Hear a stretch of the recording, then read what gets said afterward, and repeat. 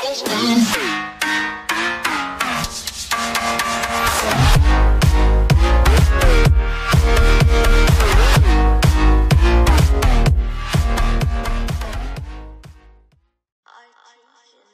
damit herzlich willkommen bei mir, dem Thorsten Akatoto, beim Clan True Warriors. Worum geht es eigentlich in der Folge? Ich hatte letzte Folge schon angedroht, dass wir das Drachen-Event spielen. Und wir müssen mindestens zwei Drachen dabei haben. Ein Drachen kostet 4200 Elex und wir müssen mindestens drei Angriffe gewinnen, um die 300 EP und die 30 Juwelen einzusacken. Und ich würde sagen, Lange Rede, kurzer Sinn. Ich habe gebaut. Zwölf Drachen. Ich habe zwei, zwei Blitz gebaut. Ja, ich hole einfach mal jetzt das ähm, Lightning Spell Event hier für mich nach. Ich weiß nicht, ob es das Optimale ist, aber ähm, ich teste das einfach mal an. Hab zwei Wut, hab einen Frost und einen Erdbebenzauber in der Clanburg. Seht ihr selber, drei Loons und noch ein Drache. Und meine Queen schafft hoffentlich wenn ich denn einen adäquaten Gegner finde, mindestens vielleicht eine La. Mal gucken, so ganz im Alleingang. Und ähm, ich bin jetzt auch nicht unbedingt darauf bedacht, hier ein RH11 zu machen. Ah, das muss ich nicht unbedingt, aber eieieiei, das ist ja schon ein schöner Gegner hier. Zumindest was die Ressourcen angeht.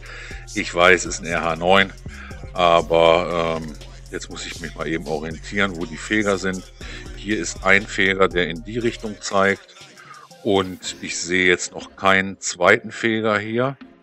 Ah doch, der zweite Feger ist da. Dann würde ich sagen, wir gehen ruhig über diese Flanke hier rein. Wir machen den, ist ein RH10, also so ein 9,5er. Und ähm, ich gucke mal, ich komme natürlich an keine La mit meiner, ähm, mit meiner Bogenschützenkönigin dran. Ah doch, hier unten an die La komme ich ja. Ah ja, ja, das sehe ich ja jetzt erst. Das ist ja cool. Jawohl. Die müssten wir eigentlich äh, mitnehmen, die, die La jetzt. Und ähm, dann können wir zumindest eine blitzen. Und zwar würde ich sagen, wir blitzen eine in der hinteren Region. Und zwar diese hier. Die machen wir mal weg. Und schicken jetzt mal ganz piano hier unsere Drachen rein. Mal gucken. So, okay und ziehen hier jetzt, ah, der Feger macht mir so ein bisschen Sorge hier, aber das ist nicht so schlimm. Wir ziehen hier mal alle unsere Drachen hinterher und hauen da jetzt mal den ersten Wut rein und ähm, dann müsste das gleich auch schon zumindest für den Feger-Geschichte sein. Hier kommt mein zweiter Wut rein. Jetzt habe ich noch einmal den Frostzauber. Jetzt muss, ich gleich mal gucken, wo ich den setze. Aber ich denke mal, der ist dann gleich bei den, oh, die Drachen halten aber gut aus, Donnerwetter. Donnerwetter, jawohl. Das war die Königin da in der Mitte und wir setzen hier jetzt unseren Frost, weil die La soll jetzt nicht länger schießen. Da gehen jetzt auch schon so ein paar Drachen hin und dann, ja, sehe ich das doch zuversichtlich. Okay, es war ein neunhalber, aber es, ist auch seine Schuld. Ich habe ihn nicht dazu gezwungen, hier neunhalb zu spielen um keine Infernos zu haben. Und dann ist das hier letztendlich ein ziemlicher Overkill gewesen. So viel Drachen wie noch über sind. Also die sind schon, glaube ich, ziemlich gut. Ähm, ich denke mal im zweiten Wurf ähm, schnappe ich mir da mal eine etwas stärkere Base, um die Truppe hier auch mal ein bisschen an die Grenzen zu führen. Aber das sieht hier gut aus. Das war ein cooler Angriff, coole Ressourcen. Und ähm, jo, und das waren drei Sterne sind 3000 dunkles, 491.000 Elex. Ja, mit dem Bonus ist doch super. Und wir haben schon unseren ersten Stern gemacht. Warten jetzt eben, dass die Königin wieder wache, wache wird und dann machen wir unseren zweiten Angriff. Bis gleich.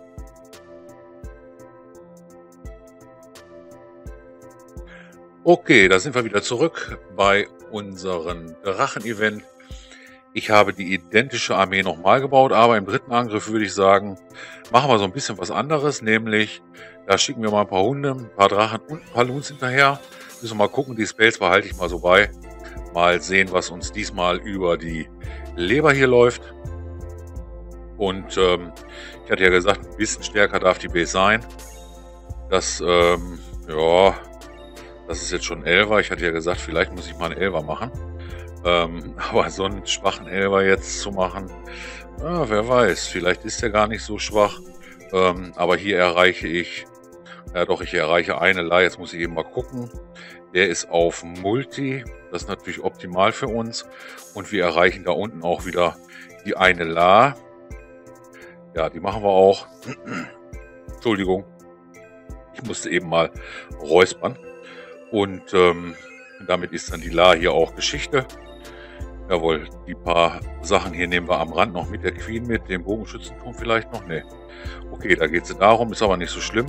Dann schicken wir hier schon mal zwei Drachen rein. Okay, da hat er sowas für uns im Petto. Und dann gucken wir mal, was wir denn am Ende hier eigentlich blitzen. Aber ich sehe schon, was wir hier blitzen. Wir setzen den Blitz mal hier rein, denn der Feger macht uns hier ja doch ein bisschen das Leben schwer.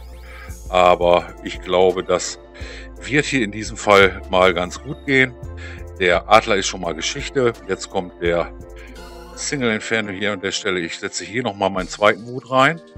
Und ähm, äh, der Multi-Inferno, Entschuldigung, da hinten ist auch ein Multi-Inferno. Ja, das ist natürlich optimal für uns. Äh, ja, das war jetzt wieder nicht so eine tolle Base. Naja. Dafür sind dann die Drachen, denke ich mal, doch wieder mal ein bisschen zu mächtig. Aber ist mir egal. Ist ja das Drachen-Event.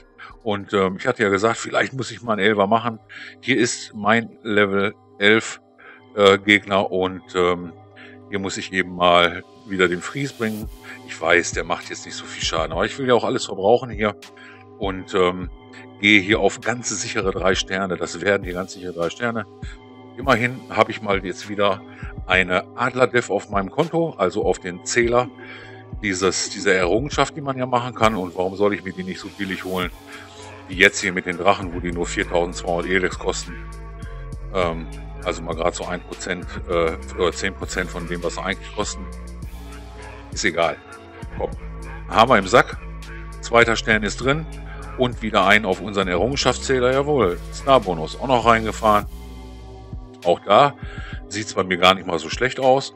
Und ähm, ich würde sagen, wir warten eben die Armee noch ab, machen das dann mit den äh, Hunden mal, mal sehen, vielleicht klappt das äh, besser oder halt nicht so gut. Ich fordere schon mal Truppen an, glaube ich. Dann nehmen wir mal nicht irgendwas. Ach, kann ich noch nicht. Okay. Muss ich gleich erst machen, dann sehen wir uns beim nächsten Angriff.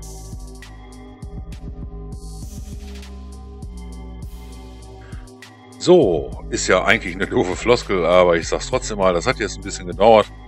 Ähm, ich habe mich gerade so ein bisschen in den Chats verquatscht. Aber nichtsdestotrotz ähm, wollen wir uns noch einen dritten Gegner suchen. Unsere Armee ist fertig und ich habe keine Clanburg. Ja, ist ja super, Thorsten. Okay, dem, ähm, da weiß ich mir aber zu helfen, glaube ich. Äh, da muss ich eben mal schauen. Kleinen Moment, Leute. Dauert nur eine Sekunde, dann habe ich hier ein paar Truppis drin. Und ähm, netterweise schiebt mir der Barfuß immer mal wieder so ein paar Truppen rüber. Wie auch in diesem Fall. Ja, danke dem Barfuß für seine Spende an der Stelle. Und ähm, er weiß, dass ich hier gerade drehe und ähm, deswegen ganz, ganz schnell die Lunz hier brauche, damit wir den nächsten Angriff machen können. So, jetzt sind die auch drin. Super. Dann kann das losgehen. Ich check nochmal. Ja, sie sind wirklich da. Oh, oh, oh, erster Wurf hier, Leute. Erster Wurf. Jawohl, mit Infernos, mit Queen in der Mitte zwar nicht ganz so hart und mit für mich erreichbare Las, würde ich sagen. Ähm, ich denke mal, dass wir die La ich kann gar nicht draufklicken. Ja, ach, kann ich ja nicht, stimmt. Ähm, nee, die, die La hier unten. Ich glaube, die La hier unten ist etwas besser für uns geeignet. Die nehmen wir uns noch mit. Jetzt kriegen wir hier zwar richtig viel Feuer. Oh, ich muss die Queen jetzt schon schön... Scheiße. Schafft die das noch? Ja, schafft sie noch. Super. Super gemacht. Ähm, jetzt muss ich mal gucken. Ich will ja von der gegenüberliegenden Seite eigentlich kommen. Eigentlich will ich ja eine sichere Sache machen. Das heißt, ähm, Jetzt muss ich mal gucken, wo hier die Feger stehen. Der eine steht nach da, der andere steht nach da. dann würde ich sagen, wir blitzen diese La hier weg und hauen hier noch unseren Erdbeben drauf und fangen jetzt mal mit beiden Hunden an. Jetzt gucke ich mal, wie die... Ah, nee, ich, ich fange mal mit den Drachen an. 1, 2, 2, 2. Hunde hinterher. Loons hinterher. Und meine Loons auch. So, dann schicken wir hier noch zwei Drachen rein. Und die jetzt mal in Wut. Oh, die gehen da oben so blöd über die Seite rein. Ah, das ist Mist. Ah, okay, das geht aber noch. Nochmal ein Wut hier hin. Und ähm, jetzt muss ich gleich mal gucken, wo ich meinen zweiten, äh, wo ich den einen Frost reinsetze. Ich denke mal, den haue ich hier jetzt mal drauf, dass der X-Bogen mir den nicht wegmacht, dass ich wenigstens das, äh, nee, das RH ist es ja nicht, aber das dunkle Lager vielleicht kriege.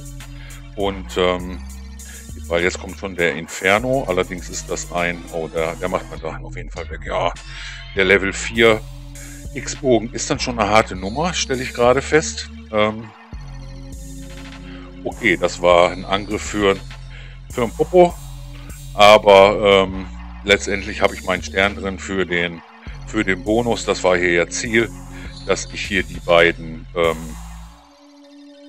dass ich hier die drei die drei Sterne kriege für, den, für die EP und für die 30 Juwelen. Und ähm, dann ist das hier jetzt leider, ja, ist nichts geworden. Ja, ist nicht so tragisch. Oh, ein bisschen kleines, bisschen dunkles nehmen wir ja mit vom Bonus. Und irgendwo haben wir hier auch Innerbase was gemacht. Yes, 353. Okay. Wir haben ja auch ein bisschen was verbraucht, aber an dunklen glaube ich ja nur den Erdbebenzauber. Das ist in Ordnung. Da kann ich mit leben. Und zack, da haben wir 30 Gems und die 300 XP. Also einmal das Event an einem Abend in einer Folge abgearbeitet und ich weiß noch gar nicht, was ich jetzt nachbaue, weil ähm, ich mich auf unseren CK hier vorbereite. Ich habe zwar im Moment nur die Queen, aber wir haben schon ein paar Angriffe hier gehabt. Ich habe das nebenbei gesehen und ähm, würde, ja, wir fangen einfach jetzt schon mal an in der Folge. Das ist doch cool. Nehmen wir uns gleich mal den AG hier vom Popi vor. Das ist RH9 auf RH9. Und weil es so schöne 100% sind, gucken wir uns das einmal an. Er entscheidet sich hier für einen Walk mit den Packers, also Packer Walk. Mit drei Heilern. Ich nehme immer vier. Ähm, könnte ich eigentlich auch mal mit drei Heiler antesten, aber dafür hat er natürlich etwas mehr Magier hier dabei. Ich habe immer nur ein oder zwei dabei, deswegen habe ich dann wahrscheinlich auch vier Heiler. Und ähm, meine Helden sind aber schon auch schon etwas stärker und gerade wenn hier starke CB rauskommt, dann ähm, ist es vielleicht sinnvoller, wenn man den einen oder anderen Magier mehr im Petto hat. Jetzt muss ich mal gucken, was der Gegner so in der Clanburg hat. Okay, Lakaien. Das ist kein Thema. Und der Drache, ja, das ist auch gut. Kommt hier jetzt links schon mit den Hocks. Ich bin gerade ein bisschen außer Atem, weil ich hier reingelaufen bin. Und ähm, das sieht ganz gut aus. Jo, da machen die Hawks einiges. Jetzt teilen sie sich zwar, aber ist nicht so tragisch. King kann auch noch zünden. Da hinten sind die Bowler in Heilung. Und ähm, den springen wir mal vor auf zweifach. Die Tesla sind jetzt auch noch nicht so hoch, dass sie hier unsere Hawks ein nach dem anderen wegbraten. Und jetzt ist schon Cleanup-Time hier. King ist immer noch zündbar. Und wie viele Bäcker leben da noch? Ich denke mal, ich glaube, das sind noch zwei Stück. Ja, zwei Stück. Super. Super drei Sterne hier. Was haben wir hier hinten? Ah, die Bauhütte. Ja, aber das war kein Zeitproblem hier. Die Zeit läuft hier ja nur den gesamten Angriff runter. Also ich denke mal, der Puppi hatte hier noch Zeit genug. Und ähm, ich werde allerdings hier jetzt äh, nicht mehr von aufnehmen, weil ich das in einer nächsten Folge äh, wieder zeigen werde von, von dem CK hier. Ähm, wie es sieht, durchwachsen aus, muss ich sagen. Die Gegnerbases sind gut. Der Gegner ist ein Level 7 Gegner, aber nicht schlecht bestückt. Also äh, die haben sich auch irgendwo gesucht und gefunden.